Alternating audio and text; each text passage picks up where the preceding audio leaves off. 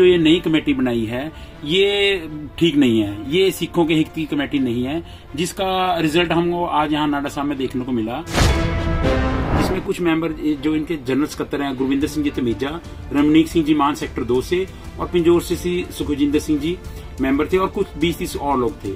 जो लेडीज़ खड़ी थी उनके साथ आके गाली गलौज और बदतमीजी करी कि यहाँ दुकानें उठाओ। और अब हमारी कमेटी बन चुकी है। खट्टर साहब ने हमारी कमेटी को मंजूरी दे दी है और हम तुम्हारा बुरा हाल कर देंगे, जिससे उन्होंने दुकानों की दाना दौड़े फेंकनी शुरू कर दी। मुख्यमंत्री जी से अपील है कि ऐसे गुंडे तत्व को यहाँ से नहीं आने दें। जो ये कमेटी बनाई है, सिख हरियाणा कमेटी है। इसको सिखों में रहने दो, इसको सरकारी कमेटी ना बनाए। क्योंकि जो अंदर का कब्जा है, वो शिरोमणि कमेटी के पास है। कमेटी अभी बनी हुई है। इनको कोई राइट नहीं बना। और जिनको कोई राइट ही नहीं है, वो लोग आके यहाँ पे आके मैम लोगों को परेशान कर रहे, गुंडागर्दी कर रहे। अभी जब इनको राइट मिल जाएँगे तो लोगों को काट देंगे तो हफ़्ता वसूली करने लग जाएँगे यहाँ पे आके। और क्योंकि आने वाले टाइम में जैसे अगर इनको कोई पावर मिलती है, मैम हमारे जवान माल को खतरा है, और इनसे जो एक कमेटी नहीं बनाई है। आप लोग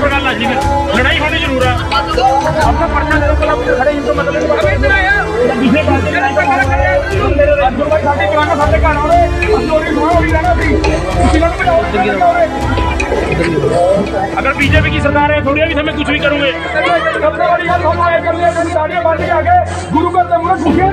अजय पानी है नहीं।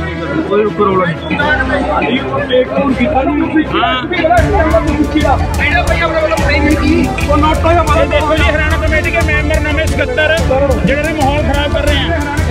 हरियाणा कमेटी के मेंबर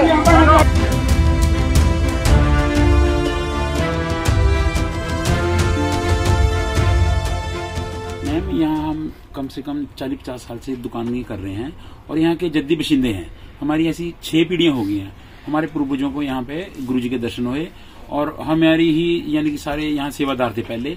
और चलो, कुछ टाइम के बाद यहाँ पे इन शिरोमणि एसपीजीसी का हो गया कब्जा, हम यहाँ दुकानें करने लगे मैम मानयोग सुप्रीम कोर्ट ने जो हरियाणा कमेटी के हक में फैसला दिया उसका हम स्वागत करते हैं जी। लेकिन जो ये नई कमेटी बनाई है, ये ठीक नहीं है। ये सिखों के हित की कमेटी नहीं है, जिसका रिज़ल्ट हमको आज यहाँ नाडा साहब में देखने को मिला।